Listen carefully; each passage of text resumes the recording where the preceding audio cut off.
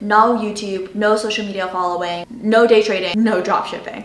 So I make about $3,800 a month. This is kind of a conservative estimate because it does vary a little bit due to my other streams of income such as YouTube, uh, but it doesn't really affect the number too much, but it does range from around $3,700 to $4,000. My name is Chloe, I'm a second slash third year, I'm 20 years old, student at UChicago. The first source of income is obviously YouTube. I average around $200 a month uh, from passive income mainly with around like what 13,000 subscribers and currently I believe 80 videos up. There was one month where it particularly was more because I, one particular video blew up. In total got me around $400. So that particular month it was a spike but I didn't calculate that into this budget. And then the next thing is uh, cryptocurrency and NFTs. So again this is a massive variable number but during my gap year for example I made about think $7,000, $6,000 $7,000 in total from cryptocurrency. So my gap year during that time period is around six months. So if you average it out, it's about a thousand per month. But again, I don't really take that into account. So the main way I make money is from teaching tuition.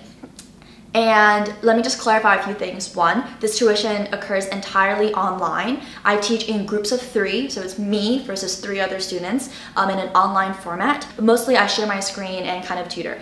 Mainly, I focus on English literature, high school writing, literary writing. I do do some PSAT, SAT courses sometimes, very rarely. So every week I work on average 8 hours to 9 hours in actual tuition time. And then for pre-planning and classes, it's an additional maybe 2 hours. So in total, I work around 8 to 10 hours a week.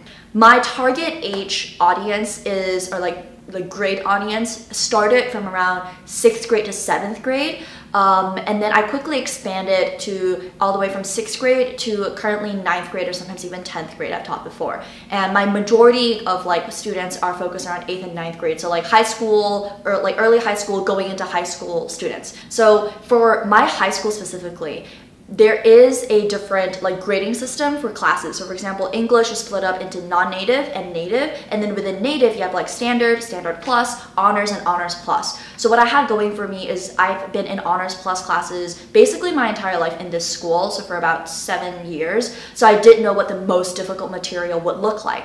So at the beginning, my target audience were either people who were struggling in these honors plus classes or kids who were in honors who wanted to go to honors plus who you know they need to take the whole test, need to improve your grades to be upgraded by a class. So my teaching method is very straightforward. It's you tell me what results you want, I will devise a plan to get you there, and I have very specific milestones that I will create after I've assessed a student's growth. So I will ask for past essays, past like testing, past uh, writings, whatever, and then I will give them my personal score, and then I will also take their like school grades into account. So this is my price breakdown as of right now after three years of working in this field. So I definitely did not start off with this number, but this is where I am now. I'll report the numbers in RMB because that is how these kids pay me.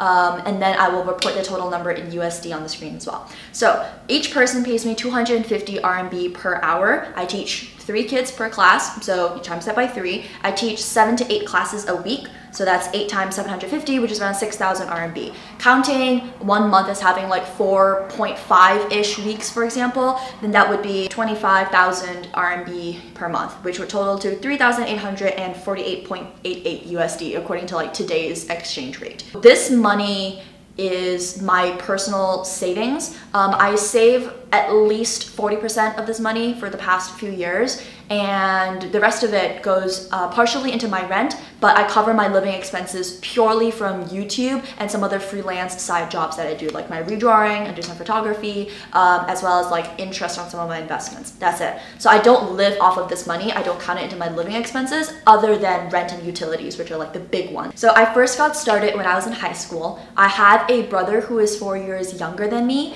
and it kind of started off as me kind of tutoring him naturally uh, during my junior year of high school, so when I was an IB student. And at the time, his friends came over one day to our house and they were prepping for a debate competition. So I was just like, I do debate, like I did debate and I was decently good at it. So I'll just give you some pointers. So I sat there and it turned from like one hour session to like a three hour session. And then they were coming to my house regularly. And then one time my brother was like, oh, some of my other friends want to join in on your session too. And I was just like, okay, well, this is becoming kind of a project. So I talked to my mom and she was like, you know what? Why don't we pick some sort of subject that you're good at or you're interested in and you just, you know, should start doing like start tutoring Jake and his friends. That's basically how it started. It really started to take off. I started to take more students um, around senior year of high school. So this was after I'd already gotten into U Chicago. So the only thing I had to worry about were IB classes. So I had a lot of free time on my hands essentially. I decided to start, you know, going to school, staying after school a little bit more to tutor these like kids one-on-one. -on -one. So in the beginning, it was kind of disorganized. I just kind of asked my brother's friends, like, is anyone interested? I just charged them like a really low rate, um, lower than US minimum wage actually at the time, but it was more for because I just want to experience and also because it was super fun for me. I really love English writing in general. I mean, I'm writing a book. At that time, I only took around seven to eight students in total and it was more like one-on-one -on -one sessions.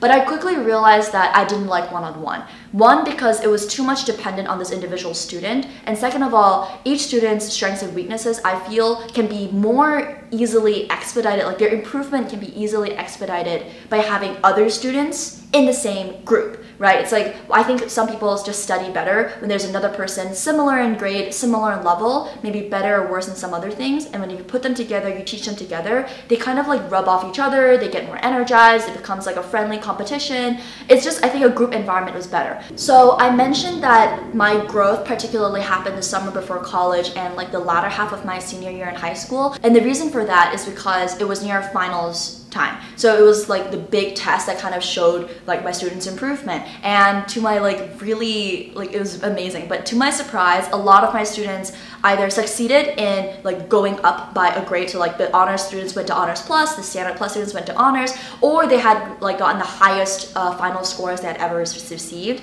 And so we got an overwhelming amount of like positive comments from the parents of these children.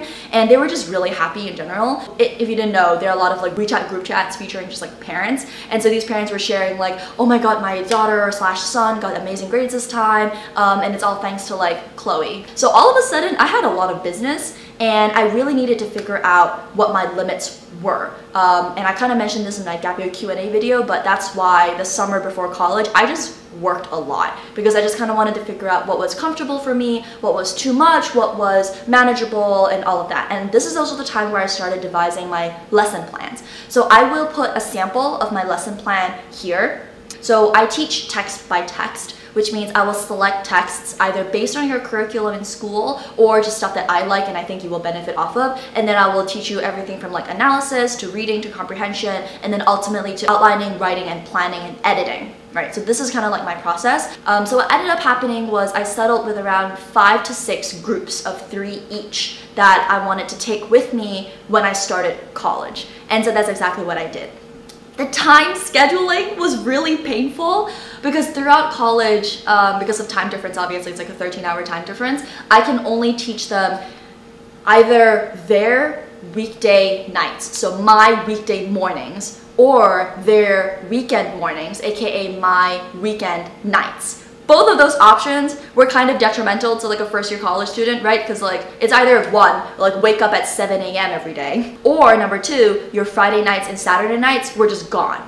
So for me, I had to make a lot of like sacrifices in order to keep up my streak, but I really didn't want to stop teaching. So I decided to stick with the morning method.